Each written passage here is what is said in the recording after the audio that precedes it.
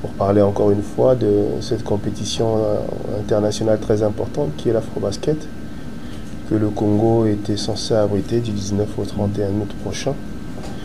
Il est vrai que la communication internationale a pris le cours un tout petit peu la communication nationale, dans ce sens que euh, les réseaux sociaux et autres canaux ont déjà diffusé un certain nombre d'informations en rapport avec euh, le retrait du, Congo euh, de l'organisation de cette euh, compétition. Je ne peux pas vous donner des informations officielles parce que forcément il y aura une notification qui sera adressée au ministère et à la fédération à propos des sanctions, il faut les appeler comme ça.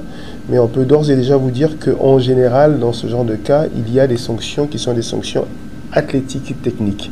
C'est-à-dire que le Congo peut se voir retirer des terrains internationaux pendant une période donnée, ça peut être un ou deux ans.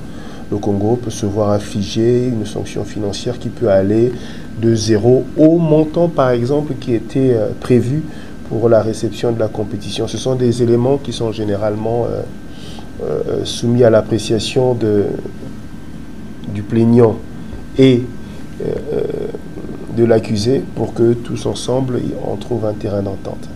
Il y a eu à Bamako, il y a environ une, semaine, dix jours, une grande réunion à propos. Je pense que nous y avions un émissaire, mais nous n'avons pas encore le compte-rendu exhaustif de ce qui a été dit là-bas.